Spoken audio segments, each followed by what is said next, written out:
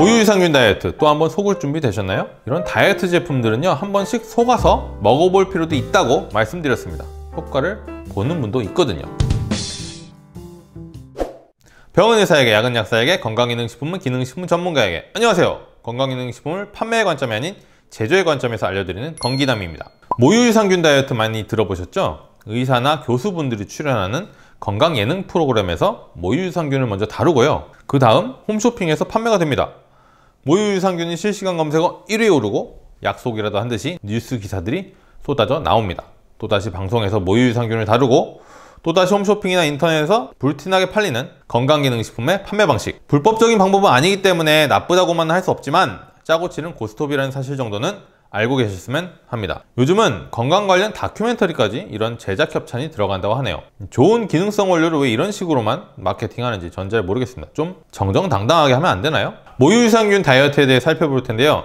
1부에서는 방송에서 말하는 모유유산균 다이어트의 말장난 3가지에 대해 말씀드리고 2부에서는 모유유산균 다이어트의 실제 실험 데이터와 모유유산균 제품을 잘 고르는 법 그리고 이상적인 섭취 방법에 대해 말씀드리겠습니다. 그럼 1부 시작하겠습니다. 홈쇼핑은요 쇼호스트들이 막 오버하면서 방송을 하고 정작 중요한 내용들을 상대적으로 작은 글씨로 표현하거나 쇼호스트들이 잘 읽어주지 않아서 소비자들이 혹하는 경우가 많은데요. 그래도 홈쇼핑은 방송 내용에 대해 사전 심의를 받기 때문에 불법적인 허위 과대 광고를 하지는 않습니다. 그런데 연예인과 의사나 교수분들이 함께 출연하는 종편 채널의 건강 예능 프로그램들이나 공중파의 아침 방송들은 사전 심의 같은 거는 받지 않아요. 건강이나 다이어트를 미끼로 특정 성분이나 제품을 직간접적으로 홍보하는 데 있어서 무법지대인 것이죠. 자, 그럼 방송들에서 모유유산균 어떻게 말하고 있을까요?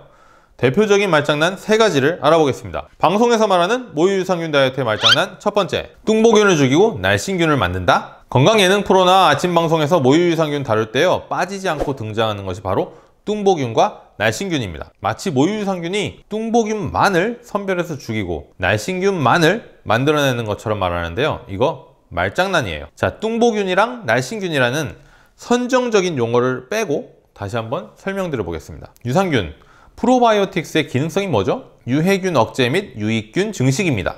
이 평범한 문구를 뚱보균 억제, 날씬균 증식 이렇게 바꾼 거예요. 이게 어떻게 가능하냐면요. 뚱보균이라고 불리는 피르미쿠테스는요. 유해균의 한 종류이고요. 날씬균이라고 불리는 박테로이드 테스는 유익균의 한 종류이기 때문입니다. 절대로 뚱보균만을 골라서 없애거나 날씬균만을 골라서 만드는 게 아니에요. 그냥 여러 가지 유해균을 억제하는 과정에서 뚱보균도 함께 억제가 되는 것이고요. 여러 가지 유익균이 증식되는 과정에서 날씬균도 함께 만들어지는 것입니다. 그리고 이건요, 모유 유산균만의 기능성이 아니고 모든 유산균의 기능성입니다. 이렇게 말씀드리면 에이 그래도 모유 유산균이 다른 유산균보다 뚱보균을 잘 없애고 날씬균을 잘 만들지 않을까요? 하실 텐데요. 전혀 근거가 없습니다. 자, 팩트만 말씀드릴게요. 비만을 일으키는 장내 세균이 존재하는 것은 맞습니다. 과체중인 사람의 장내 세균 중에는 유해균 비율이 높은 것도 사실이에요. 당연히 정상 체중인 사람은 과체중인 사람보다 상대적으로 장내 유해균 비율이 낮고 유익균 비율이 높겠죠. 이게 끝입니다. 이 이상의 내용을 뚱보균, 날씬균이라는 말을 써가면서 이야기하는 것은 다 말장난이에요. 그냥 무시하시면 됩니다. 방송에서 말하는 모유유산균 다이어트의 말장난 두 번째, 탄수화물 커트, 묵은 살 제거 모유유산균이 탄수화물을 커트하고 묵은 살을 제거한다? 우선 탄수화물 커트에 대한 그들의 논리는 다음과 같습니다. 우리가 탄수화물을 먹으면 소화효소에 의해 탄수화물이 포도당으로 분해되어 흡수가 되는데 흡수되고 남은 잉여포도당이 지방으로 저장되어 살이 찐다고 합니다. 여기까진 맞죠? 그런 다음에 모유유산균이 그 잉여포도당을 먹어서 탄수화물이 지방으로 바뀌는 것을 막으니 살이 빠진다고 이야기합니다. 그럴듯하죠? 그런데 이렇게 무책임하게 단정 지을 수 있는 이야기가 아니에요. 일단 모유유산균들만 포도당을 먹는 게 아니고요. 모든 종류의 유산균들이 포도당을 먹습니다. 모유유산균들이 특별하게 포도당을 잘 골라 먹는 것도 아니에요. 제가 유산균 2부, 일반인들은 잘 모르는 유산균 상식편에서 유산균의 먹이, 프리바이오틱스 말씀드렸을 때 유산균들은 프락토올리고당과 같은 단당류를 좋아한다고 말씀드렸죠? 포도당도 단당류예요. 모든 유산균들이 좋아하는 먹이입니다. 더 중요한 건 유산균들은요, 우리 몸이 다 흡수하고 남은 잉여 포도당을 먹는 것이 아니고요. 우리 몸속에서 흡수되는 과정에 있는 포도당을 먹는 것입니다.